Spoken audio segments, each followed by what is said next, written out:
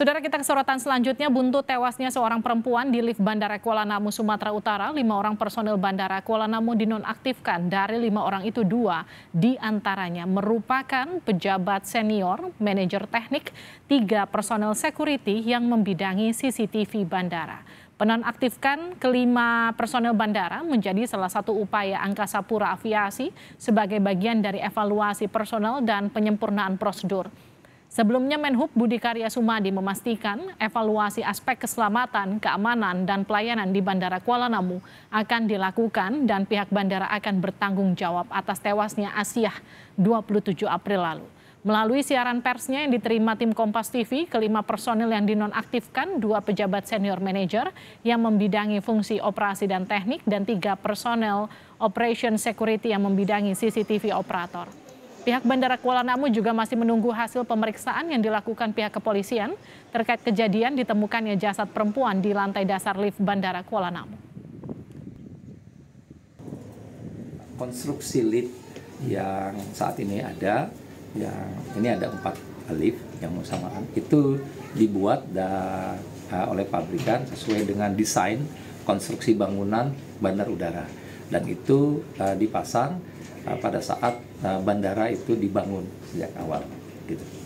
Hmm. Jadi dan uh, mekanisme tadi mekanisme lift itu sendiri uh, memang settingannya dari pabrikan dan dengan kejadian ini kami pun uh, sedang berupaya untuk uh, melakukan konfirmasi kepada pihak pabrikan uh, terkait teknis uh, uh, pintu uh, beroperasinya. Sistem lift dua pintu di Tenggarai jadi salah satu penyebab kecelakaan dan merenggut nyawa Asia. Ternyata ada empat lift yang serupa di Bandara Kuala Namu. Lift tersebut dibangun bersamaan berdirinya Bandara Kuala Namu. Pihak bandara juga menyebut lift dibuat secara pabrikasi disesuaikan dengan desain bandara. Saat ini dua lift untuk sementara dihentikan operasinya karena diduga mengalami kerusakan dan mengakibatkan jatuhnya korban. Pihak bandara mengaku perawatan dan pengecekan lift telah dilakukan secara berkala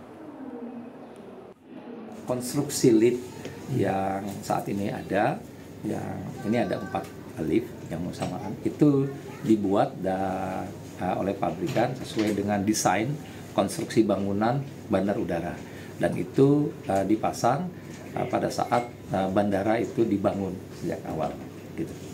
Hmm. Jadi dan uh, mekanisme tadi mekanisme lift itu sendiri uh, memang settingannya dari pabrikan dan dengan kejadian ini kami pun uh, sedang berupaya untuk uh, melakukan konfirmasi kepada pihak pabrikan uh, terkait teknis uh, uh, pintu uh, beroperasinya.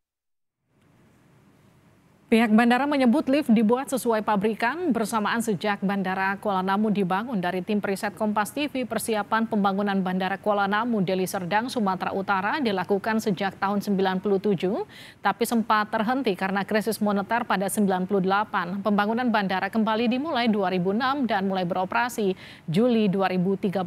Bandara Kuala Namu terdiri dari tiga lantai dengan tinggi bangunan 35 meter. Pembangunan dilakukan PT Angkasa Pura dengan melibatkan perusahaan pembangunan asal Indonesia. Sementara untuk pengelolaan bandara dilakukan PT Angkasa Pura, GMR Airport asal India, dan Aeroport de Paris dari Paris, Perancis. Konstruksi lift ada empat unit dengan desain sistem dua pintu yang bisa dibuka depan belakang mengikuti konstruksi bangunan bandara Kuala Namu. Keluarga korban mengatakan salah satu keponakannya sempat melakukan komunikasi dengan korban Asia Sinta Hasibuan. Saat itu Asia mengatakan ia terjebak di lift sebelum akhirnya dinyatakan hilang kontak 24 April lalu. Asia ke Bandara Kuala Namu dalam rangka mengantarkan salah satu kerabatnya. Usai mengantar, Asia masuk ke lift seorang diri dan menelpon keponakannya mengatakan liftnya rusak dan ia terjebak di dalam lift. Kemudian pintu lift terbuka dan Asia keluar lift lift tanpa melihat kondisi sekitar. Ternyata lift berhenti dan terbuka tidak di lantai seharusnya, sehingga ada celah antara pintu lift dan lantai.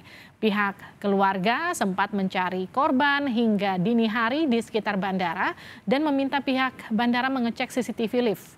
Tiga hari berlalu, pihak keluarga akhirnya dihubungi pihak bandara dan mengatakan ada temuan jenazah di dekat lift. Jasad Asia ditemukan membusuk di kolong dasar lift Bandara Kuala Namu pada Kamis 27 April lalu. Polisi menyebut Asia terjatuh karena tidak tahu bahwa pintu masuk dan keluar lift bandara berbeda dari pintu lift pada umumnya. Bisa terbuka di bagian depan dan juga belakang.